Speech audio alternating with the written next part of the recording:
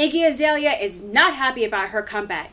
Fans of Sandy Denton are concerned. Fans of Blackish and Fresh Off the Boat are calling out ABC. Lorde learns a huge lesson. And we have our photo of the week and more, so stay tuned.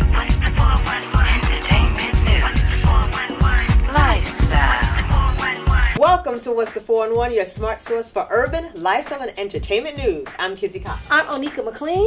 Hey! Hello, my darling. How you doing? Yes, hey guys. All right, so let's get started with some quick takes. So, Chrissy Teigen was apparently in shock after hearing that rapper Cardi B offered a threesome with Rihanna on the She Bad track from her debut studio album, Invasion of Privacy. Well, if you're gonna have a threesome, you should invite Rihanna. That's one. And Okay. Cardi is pregnant, so maybe she's just trying to help amigos out. I'm just saying. but singer songwriter, Lorde, let, let me tell you what's happening, right? Right. So I know the the internet kind of blew up a little bit on this, right? So this is what she did.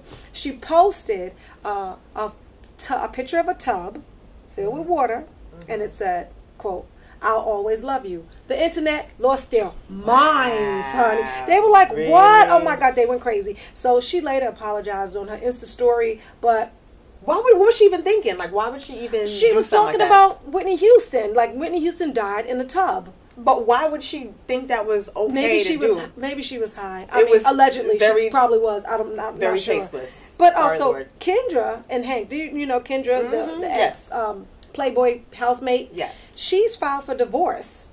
Hmm. Yeah. So there's no more Kendra and Hank. I don't know what's going on, but um, we can watch it. Did you, did you watch that show any? No, Okay, I did. I did. Um, and you didn't like her. They, you didn't like them together. they were always they were like a, a, a slow train wreck you know like you knew it wasn't gonna work out it was just like her mother was always in it she was a playboy he was a nfl star like it just it just you know what their relationship felt like to me What? um uh, don't be tardy for the party the, the Oh, housewife yeah. what was her name I Um, forgot her name, but yeah, I know who you're talking about. The White Housewife. the white housewife she's so racist guys But she's the only white Atlanta housewife. It's the truth. her name's kim devoziak or something like that The- yeah. you know i'm kim Koziak. Koziak. See? Oh, Who's right. racist now? I remember her name. Kim Koziak, yes. yeah, okay. So, uh, on to the next story, which was, this shocked me. Um, rapper Fabolous, you know him? Like, Uh-huh, know, uh-huh. like- Fabolous. Yes, Fabo was recently charged with aggravated sexual, that's, excuse me, aggravated assault against his baby's mother and longtime partner, Emily Bustamante. And she actually accused the rapper of hitting her so hard seven times that she he knocked out two of her front teeth and attacked her father. Came after her father with a knife. So I'm like, what? Fabolous, really? Wow. Wow. Wow. That makes me think that But why didn't the she? first time. th- this, he hit her seven times. She couldn't run the first time. Like, okay. you need Onika, oh, no. Okay. no. Seven times is a lot of times. That's a, that's a lot and he really Is I'm- he in? He's in jail now, right? No. No, he's not in jail. No, no, no. Okay. No, Domestic not in jail, violence is a serious thing. Like, come on, Fabo. You know not to hit. You know. Yeah. Um, that's uh, terrible. Speaking of beefing, right? Kenya Mm. Moore, aka Prego. We still trying to figure that out. And Vivica Fox, aka um, She's still not over 50 cent. Yeah. hard, hard face. what? You Viva Come on now. Okay. Vivica's from the hood too. She'll mess you up. Don't play. I don't know. I don't, know why play. you keep saying that. It won't happen. Don't It play. won't- Don't it won't happen. They're feuding again. I'm just saying. I'm just saying. And wait, wait, and then so this is like it's just a crazy time because so burglars tried to like break into Viola Davis's house. They tried to get away with burglary? They tried to get away with burglar. You gotta say it messed up like Jay Z. No. you got, no, you can't say burglary. You gotta say burglar. No, they You tried got- to get away with Yes. I heard her Okay. husband slept. Oh, Julian, I don't know what happened, but yeah. No, but apparently she woke up because they broke in, not downstairs. They broke in through the bedroom where they were sleeping. Oh, had a ladder and went up to the balcony Mm, and broke She the glass. What are you doing? I'm saying Viola does walk like an old slave. I'm sorry, Viola. I'm just. wow. Does she not? I love you, Viola. That's all I, love got to say. I love That's her too, all I got to say. She I got don't like a what, slew foot. I, I don't know a what happened foot. here. I don't know Okay. what happened here. I don't know what's going on. But yeah. Blue Ivy. So yeah, so Blue Ivy, believe it or not, has a personal stylist. A personal stylist. She's As she six- should. She's six. Her mother is the queen of the universe, and her father is the queen of the earth. Yeah. yeah. no. oh, I called him a queen. Oh, I'm just killing everybody. I'm sorry, Jay Z. No disrespect. I just king of the earth. King of the earth. anyway, See, I, I Manuel would be afraid of Jay Z, not the rest of them people. But good. Vivica will come for you. Okay, Manuel Mendez is Mm-hmm. Beyonce's personal assistant, and now he's also Blue Ivy's stylist and and personal shopper. She probably asked for it because Blue Ivy. I mean, that is a woman that knows what she wants. You go ahead, Blue Ivy. You hear about her um um beating out uh, Tyler Perry in an auction? Silent Oh yeah, Yeah, go ahead. She's a deep. She's six, but she's a different kind of six. She's like a forty-six. If she's Beyonce's your mother, you you you gained forty years. Well. saying. She has had this stylist since September 2013, so it has been quite Oh, some quite time. some time. Yes. Well, we'll be right back with what's popping.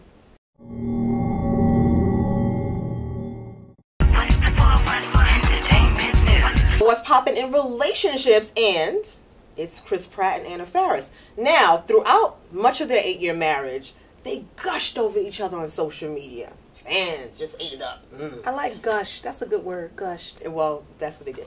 But now, Faris admits, so ignore that. Faris admits that the perfect couple image that they portrayed online wasn't entirely genuine. So my question is, are actors doing like a disservice to the public and particularly their young fans when they post, you know, like fake No. fake stuff on It's social fake media. That's what they're supposed to do. I don't want to hear your problems. So you think social media is about building an image? Social media is about building an image. I cannot believe you just said that. Of course, But I mean, but sometimes you can it can be an authentic image. It can be a form of branding, but it's still in keeping with your authenticity No, but- but as opposed to. But think about it. This fake, Certain things you put out there, you can't take them back.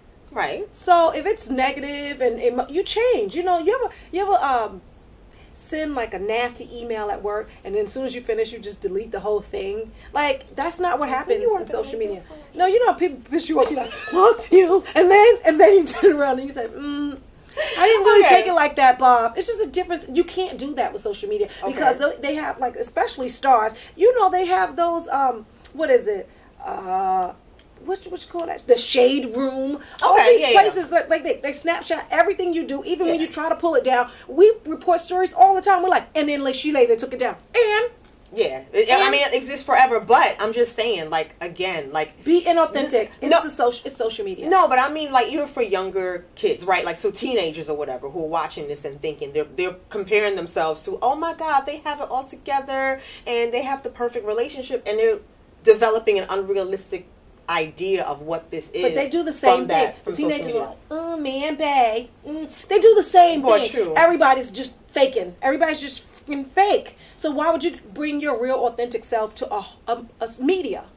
Okay, so you okay? So you do not think they're doing a I disservice? can't believe she. I can't believe she. She told the truth at the end. That's silly. Just do the new thing. just do the new thing. The way I say, "Oh, we just uh, uh, discoupling, uncoupling." Right? What do they call We it? consciously uncoupled. uncoupled. This is this is the world we live in, Kizzy. It is what it is. So, Dang. ra- Oh so speaking of, you're so uh, cynical, but I right. am today. Yes. Maybe in life. I'm I'm sorry. Anyway, um, Roseanne Barr.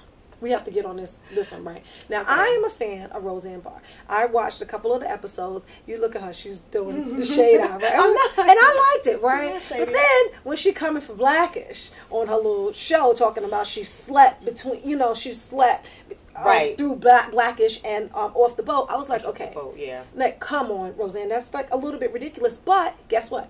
It's probably a play. She just wants people to start talking about a show, right?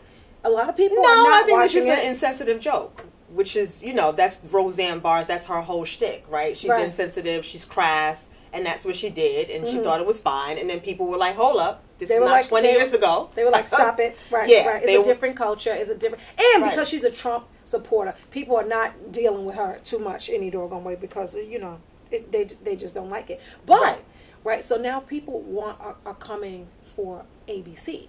Like because remember when Blackish um, wanted to uh, talk about the NFL and the kneeling and Oh, yeah, yeah, we talked all about stuff. that, yeah, a and, couple weeks and, ago. And, Right. and ABC shelved it, and ABC was like, "No way," because we don't. What, what do they say? They don't want to. What is it? What is it? What No, they didn't- cause. What do they? No, they said- they don't no. want to alienate people. That's the word. They don't want to alienate people, and so that's what Roseanne Mm. is doing. So I don't know. What what are, what are your thoughts on that? I don't know. I mean, it seems like there's a double standard. They you want to I mean? boycott Like, ABC. well, who's who's wanting to boycott ABC? Um, social media. You know they call That's for not a gonna- boycott. that's not they call happen. for a boy, boycott of everything. That's not going to happen. But I think for me, I'm seeing that there's a double standard. Like you have on one side, you have you know avowed Trump supporter Roseanne in her real life and also her character being able to you know kind of make light of you know racial and ethnic diversity, and that's not cool. And then you have on the other side, you have Blackish who. The whole point of the show is to talk about the black experience, and you deny the whole kneeling thing because you don't want to be controversial because of what? Well, they said they had um, creative differences, which to me sounds like Kenya Barris wanted to present it, and ABC just was like, no, we're not going to touch it. And you know that's not fair. If you're going to decide, right, like you're not going to air this or not air that, make it equal. Universal. Yeah, exactly. Well. But Roseanne comes that that show comes from a time where it's like middle America, white trash, like that is the dialogue. You know, blackish. I, I don't. I've never watched uh, Fresh Off the Boat. Such a good show. Is that it- show is is really hilarious. It's When I say hilarious, I'm gonna I- watch it. I'm gonna binge watch it. It's so good. It is. You are going to laugh and laugh and laugh, especially the grandmother. But Ro- Roseanne is being her authentic self, right? But that's what I'm saying. That's her. Right. That's her whole shtick. Like, yeah, crass, insensitive, whatever. But blackish is like more of an elite kind of portrayal of the black experience. Well, yeah, it's right? supposed to be an upper So middle class just different. family. It's a little different. Yeah, but know. but think about Cosby show like 25 years ago. It was the same thing, like and upper middle class. right, and they didn't black. talk about white people, and they didn't talk badly about other ethnicities. It's Oh, true, right. The Cosby Show. I'm talking about guys. Right. Okay, so um, Yeah. no boycott. Yeah, what? beep beep beep beep. Okay. this is true. okay. So speaking of, I guess unfair. Okay, so Sandy Denton, you remember her of Pepa, Salt and Pepper, right? Oh, Salt- Pepper oh. from Salt-N-Pepa. Push right? it. Right. That's Tre- That's Treach's baby mother. Yes. Okay. So, uh, Why would I call her Treach baby mother? That's hilarious. Sorry. all right, right. So Pepa, you know, she posted a photo of herself in a bathing suit on vacation in Hawaii, and people came for her. They came hard. They dragged her on social media they drag her on a butt because Well, that's the thing. That's why it's unfair because some people are saying that that all. been a Of, bumpy ride. oh my God, I'm she's sorry, on guys. a roll today. I'm sorry. Shady. It just got dark, dark, Okay. super dark. All right. Kim Kardashian too is a bumpy ride. You saw that photo of her. Same thing. Okay. Sorry. Well, no, I don't know. But anyway, was on the beach. so if people are saying it's unfair because people are like, look, leave her alone. You know, she got whatever work she had done and leave her alone. And other people are like, look, lady, like you got this big booty now, but your legs don't match.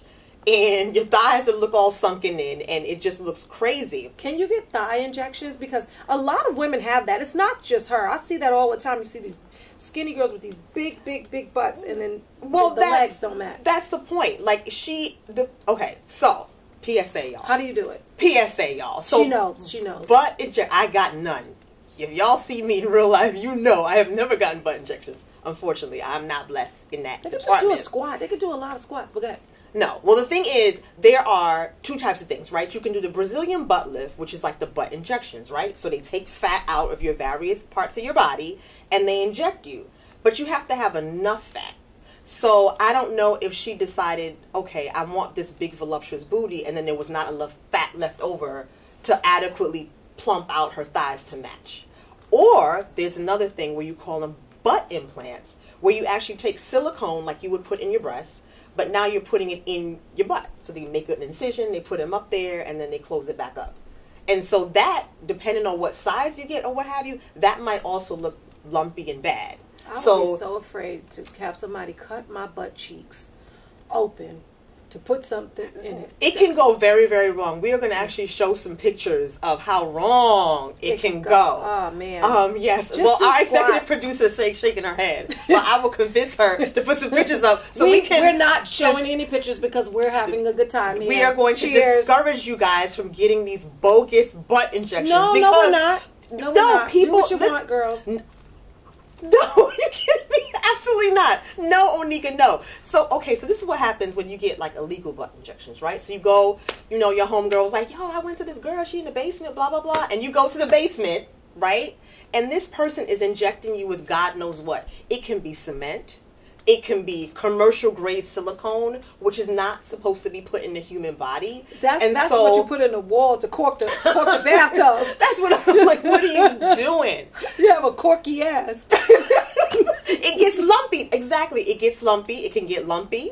It can Okay. get hard. So you have like hardened patches of chunks of flesh. This is so What much can fun. Look, also- she what gets can so also excited. happen- All right. But no, but, but let me- Don't get lumpy. Bump. okay. And you can also get arthritis, joint pain. You can get infections. You can lose your limbs, man. This has happened. People have lost their limbs. I have not So- seen a girl with a big lumpy butt and no arms. No, no, no. I, I, me. I am going to. Sh- we are going to show the picture that she got sepsis and she lost her arms, both arms and both legs. And did a man run out on her? Okay. Did, she even have a man? But anyway. Okay. Yeah. So did do not do that. PSA. Cough up the ten thousand dollars. Do it the right way. Get your Brazilian Izzy, butt lift and do your thing. All right. Izzy- yes. Iggy Azalea. Not Izzy, Izzy. Iggy. Iggy Azalea. That's your girl or something? No. no. Oh, okay. Iggy. Mm-mm, What's going on? mm-mm. You called it Izzy. I'm like, no, it's Kizzy, and then it's Iggy. Oh, Okay. I'm just saying. What are you talking about now? I'm confused. You said Izzy. Iggy. Now Iggy. Okay. What's up with her? You know. Come on. So speaking of surgically enhanced Help me, Jesus. Voluptuous women, Mm-mm. Iggy Azalea is kind of sad, right? Because she's having this really hard time making this comeback. So she released. She gotta shut up. Like sometimes she says a little too much. But go ahead. so she, you know, finally released her second album. It's been four years, and you know, she released this single and this video for this song called "Savior" with Quavo of Migos. So that was supposed to boost it and everything, and it has been, it went wood basically. Like it's not, But why? Why are they saying it's that? not charting well at Why all. are you guys tell us? And- comment comment below. Let us know exactly why you guys are not feeling this song. Maybe we should link. Maybe we should add the link. Well, we can do. We can definitely do that because I Mhm. listened to the song and the song is not bad. But she Is said, good though? It's all right. I mean, if you if you're a fan of Iggy Azalea, you would like the song. Okay. So she believes all of 60 fans have streamed the single, and Sixty fans. is is bad. Is is really bad. So I mean, I think people don't like Iggy Azalea because when she came out. it- you know, you're talking about fake and social media. She came out fake with the accent and everything, trying to sound like this black American from the South. And people were like, You're from Australia. Like, where's this even coming from? There's that. Yeah. Yeah. And then remember, she had the whole beef with Azealia Banks, Uh-huh. where Azealia Banks is like, okay, look, this woman came out, she dropped this album, she's got four Grammy nominations, and that shows people, okay, you're a kid watching at home. If you're white, the world is your oyster. you think it's just because she's white? I don't. You know. no, no, no, no, I think oh, no, she no, no, kind, kind of just no, no, no. I don't out think. lane. No, no, no. I don't think just that. wasn't her own lane. Right. I don't think that she, exactly. I I don't mean. think it's because she's white. You she can't got keep that up. No. You can't keep that up, right? Well, You can't. You really can't. well, she's doing it eventually if you're now. being- She's doing it now. She's still. She's still. Do this rapping the same way. Did you hear the single? It's the same, you know, down, you know, acting like she's black and from down south. No. Whereas with Eminem, Eminem, that's how he talks. That's who he is. It's it's real, and it, it came across. Right, you just have to be people- authentic. That's you just have to be your authentic self. Period. That Right. she canceled tours when she was at the height of her fame. How you cancel a tour? Like you just started. You got to go through with that. Remember, she broke up with um her dude. Oh, okay. Um, the NBA basketball player Nick Young. Uh-huh. They were together. That was her fiance, and he got his ex pregnant while they were together. Well, that So- happens with the NBA player. Like you acting like that's not something that's. An, it's called a break, baby, Kizzy. It's called a break. No, baby. no, it's a breakup. So what happened no was break, she- baby. Oh, well, she was supposed to drop the album, and apparently, you know, he Maybe fit, she was he sad. Right, exactly. So she said it got her messed up because she was supposed to drop the album. She's talking about this relationship that no longer exists, and so she had to scrap everything and start over. So all of this, I think, just it's it's a lag. It's too much of a lag, and it's kind of having a drag on her. She's Yeah. young enough. She'll bring it back. career. Our photo of the week is a photo of Sandy Denton, aka Pepa from Salt-N-Pepa, and Fergie on Instagram with comments from fans concerned about her new look. What's the 411 entertainment news?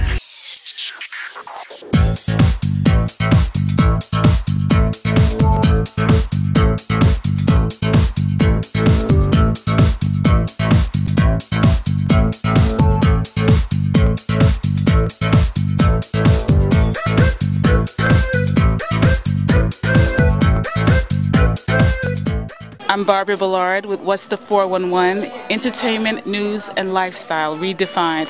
And I'm here with the wonderful, the fabulous Dion Clarke, the founder of the Harlem Fine Arts Show. Hey, Dion. Hey, it's my pleasure, and, and welcome back to the third annual Harlem Fine Arts Show, where I'm just at the point of getting ready to kick off this this opening preview. And, and thank you so much for coming and bringing your audience with you. So, how does it feel? Three years, man. This is your third year, correct? Yes, well, we're growing tremendously. I remember we first talked, we talked about 2,000 people coming, and then 3,000. Last year we had 10,000 people that came through our doors, and this year we're looking between 15 and 20. It seems like the cultural nutrition of this particular program and our approach is starting to work off, and I'm just so thankful that we can give back to the city of New York like this.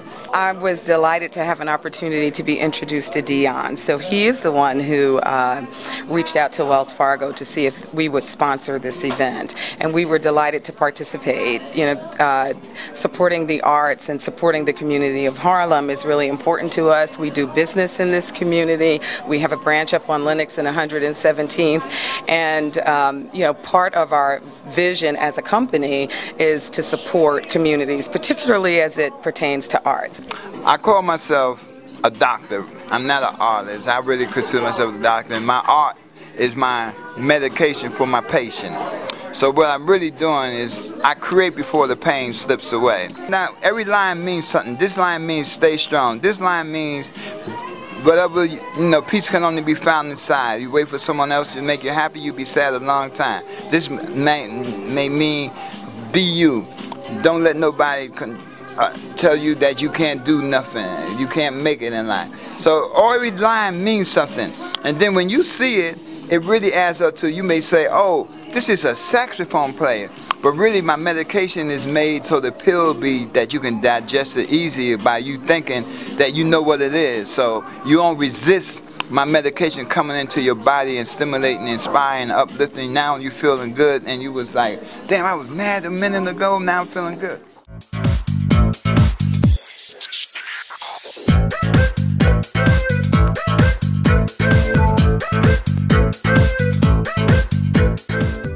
directly behind us is uh, work by Gwendolyn Knight Lawrence, wife of famous Harlem Renaissance artist Jacob Lawrence. And uh, they are both deceased, but this is kind of where they both started, so we are just happy to bring uh, what's part of probably the world's largest collection of uh, work by Jacob Lawrence and Gwendolyn Knight. I've been painting professionally for a little bit over 20 years. I've always um, been, been fascinated with art as a child. Um, I look at art as being a wonderful instrument to communicate. It says nothing but says everything. I mean, it speaks to us politically, socially, culturally, historically, educationally, as well as economically. And, um, you know, you can teach and learn at the same time with art. It just, it is the highest form of intellect. And so I happen to be an artist. I involve myself daily with that. I speak to the power of art, the passion and the purpose with art, and that's why I'm here in Harlem at the Harlem Fine Arts Show. 1812 is the first African American community of free people of color in the continental United States, and that happened to be the community of Treme that's in New Orleans, Louisiana. And so you have the mother of our culture right here preserving our treasures. This is the New Orleans African American Museum, and this is the, um, the tapestry of our community. You had a lot of the first to come out here, first doctors, first scientists, African American scientists, all out of this wonderful community in Treme. This is the bicentennial. I thought that I should pay tribute to it since I'm from New Orleans, and, and it's, it's, um, it's a historical time for celebrating our treasures. I'm so happy to be in this environment, beautiful environment, wonderful jazz, and showing my late husband's work. This particular photograph is called Couple in Raccoon Coats, and this is Vanderzee's signature piece. It was taken in 1932, uh, right around the time of the uh, crash of the stock market. And here we have two people in raccoon coats in a Cadillac uh, that uh, certainly was an eye opener. And here they were. They were, Vanderzee called them hoofers because dancers were then called hoofers. So they were two hoofers. And this is his signature piece and known, people know this image even though they may not know who actually took the image. Right now I learned to work with acrylics in terms of uh, the detail, but it, originally it was oil. But oil, you know, gives you a lot of time to play with, you know, before it dries. But this medium is, is, is bringing the acrylic out of me, so acrylic right now is the stage that I'm at. I'm trying to get back into the civil rights thing with a little, uh, you know, modern flavor in terms of the abstract, and I'm just having fun. You know, that's basically what it is, having fun with colors and, and using my creation to do something different. But tonight, it gave me another sense of the cultural experience that you can have, and that's the experience with the arts. And I met a lot of great artists here. Um, I can't decide, I'm not that versed yet, so I'm learning. My friend here knows a whole lot more about the arts, but I am learning a little bit more, and I'm interested in getting a little bit more versed on it. I always think of this show. Um, I've been attending this show for years, and I can actually thank the Black Fine Art Show for actually helping me learn about black art and art in general. I started just looking at art as an interest, and it's become a fascination, and I've started to collect slowly and surely. So I come here every year. It's a wonderful assemblage of artists, a wonderful assemblage of people, a wonderful assemblage of people of color, and it's just something that our community should be aware of, all the, the beauty and art and all the beautiful artists that we have that come together in New York. Our quote of the week comes from a post on LinkedIn by Rakia Mays. The author is unknown. This is the quote. In the end, we regret only the chances we didn't take, relationships we were afraid to have, and the decisions we waited too long to take. Thanks for that, Rakia. All right. Well, What? that, that that that is it. What's that is it? The It's over? show is over. Yes. Did you guys have a good time? Because I know I did. So did I. Of course, I always good. do. That's going to do it for this week's edition of What's the 411, your smart source for urban lifestyle and entertainment news. Until next week, check out our website, www.whatsthe411.com. Check out our website, guys. Go to the website, check it out, share it. Yes. and remember to hit us up on Facebook, Instagram, and Twitter, and subscribe, subscribe to our YouTube channel, What's the 411 TV. And all of you podcasters, because I know I'm loving podcasts now, right? Our podcast is dope. You can just listen to it on the train. So you can find our podcast on iTunes, Stitcher, and tune in. Yes, yes. I'm Kizzy Cox, and on behalf of Onika McLean, thank you for watching What's the 411. We will see you next time. 411, who's got the 411? 411, they got the 411. Who's got the 411? We got the 411. What's the 411? The 411. What's the 411? They got the 411. We got the 411. What's the 411? They got the 411. What's the 411? What's the 411?